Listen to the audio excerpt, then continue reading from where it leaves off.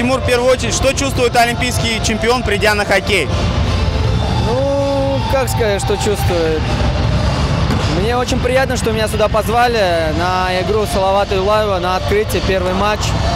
Очень горд за такое событие, за такой момент, что сбрасывает шайбу.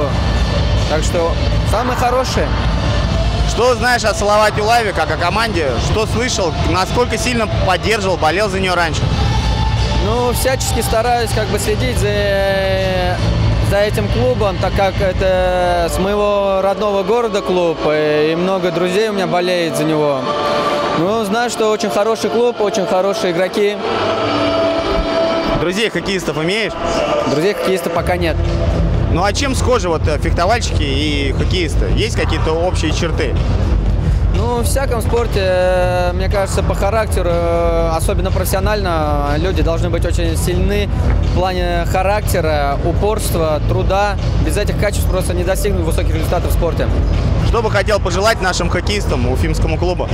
Главное, побольше удачи и хорошей игры. Ну а что тебе помогло в Рио победить? Ну, конечно же, также сюда входит и удача, упорство, надежда, победу, вера в победу.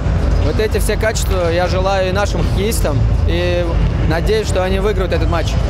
Ну а вот так вот, общаясь там в Рио, как-то вот э, что слышали об Уфе, что говорили у тебя журналисты, может быть, с, с теми, с кем общался?